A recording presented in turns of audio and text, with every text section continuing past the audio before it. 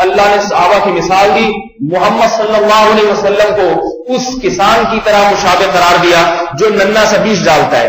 मोहम्मद सल्लल्लाहु अलैहि वसल्लम ने पूरे आलम में, इस पूरी दुनिया में, मक्का की वादियों में अकेले तोहीद का थोड़ा सा बीज डाला, अकेले अकेले। ला इलाहा का ऐलान किया, पूरी दुनिया मुखालिफ, पूरी दुनिया मुखालिफ। मोहम्मद सल्लल्लाहु अलैहि वसल्लम ने जो पौधा उगाया, जो सबसे पहले अबू बकर सिद्दीक रज़ी अल्लाह की शक्ल में वो पौधा ज़ाहिर हुआ हज़रत अली की शक्ल में, हज़रत उमर बिन सत्ताब की शक्ल में, वो नन्ने नन्ने पौधों की आबियारी में लगे रहे। सब डर रहे हैं कि कहीं से कोई कतल न कर दे। बिलाल हबशी के सीने पर पत्थर रखे जा रहे हैं भारी भारी।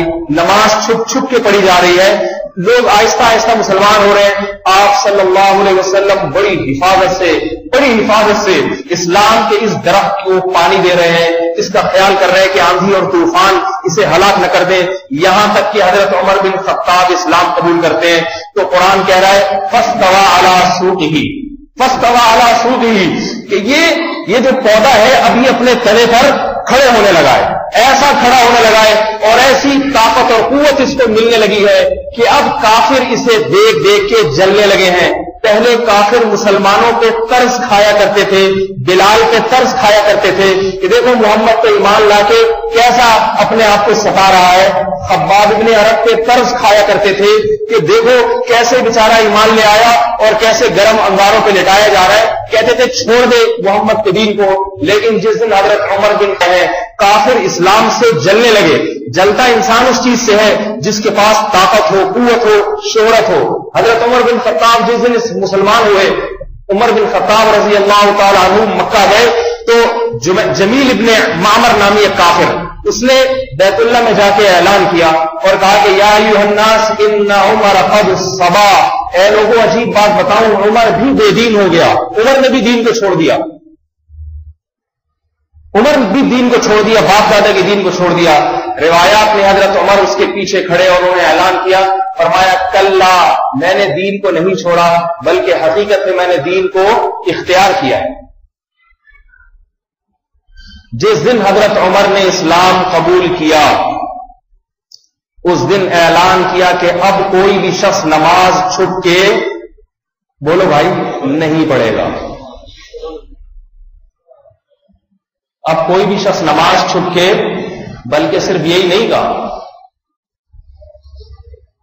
अजीब बात है कि हज़रत उमर वो शख्सियत है जिनके इस्लाम की किसी को उम्मीद न थी।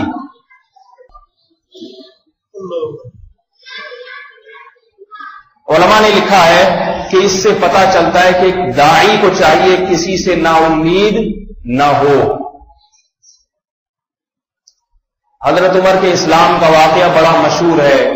सबको मालूम भी है। अपनी बहन से कुरान की तिलावत सुनी और उसी वक्त इस्लाम का इरादा कर लिया। इस्लाम लाने के बाद जब जमील इब्ने मामर ने मक्का के कुरैश, उनको बताया कि उमर भी बेदीन हो गया है। तो हज़रत उमर ने अपने इस्लाम को छुपाया नहीं। गोल मोल बात नहीं की। उस जमाने में इतना जुल्म होता था कि शरीयत ने इजाज़त दी थी मुसलमान को अपना इस्लाम छुपाने की। लेकिन हज़रत उमर ने नहीं छुपाया। मक्का में आके हज़रत उमर ने ऐलान किया। कि मैं बेदीन नहीं हुआ, बल्कि मैंने इस बात की गवाही दी कि अल्लाह के सिवा कोई मबूद नहीं और मोहम्मद वसल्लम अल्लाह के बंदे और उसके रसूल हैं। और साथ साथ ये भी ऐलान किया बड़ा अजीब ऐलान। उस वक्त तक लोग नमाज़ छुप के पढ़ा करते थे। फरमाया कि आज के बाद नमाज़ जमात के साथ होगी अलल ऐलान और जिसे अपनी बीवी को बेवा करवाना हो। समझ रहे बात? बीवी बेवा कब होती है? बीवी बेवा कब होती है? जब आप लोग मर जाएँ। अल्लाह ना करे। कहा जिसे अपनी बीवी को बेवा करवाना हो और बच्चे यतीम करवाने हो, वो आके हमें रोको। कुरान ने जो कहा ना, फस्तवा अलासूत ही इस्लाम अपने तने पर खड़ा हो गया। ये किस वक्त खड़ा हुआ? हज़रत उमर रज़ी अल्लाह तु की मिसाल दी जा रही है इस आयत में। क्योंकि तमाम मुर्रखीन इस पर मुतफिक हैं कि हज़रत उमर के इस्लाम, लाने से इस्लाम को जो कुत मिली, इससे पहले इस्लाम को वो कुत इस्लाम में वो कुत नहीं थी। क्यों इतनी ताकत मिली? इसलिए कि पहले से बारूफ शख्सियत थे। हज़रत उमर का रोग पहले से मशहूर था। जो बहादुर होता है, वो पहले से बहादुर होता है। जो बुजदिल होता है, वो पहले से बुजदिल होता है। फ़र्क यह होता है कि पहले बहादुरी गलत कामों में इस्तेमाल होती है, फिर बहादुरी सही कामों में।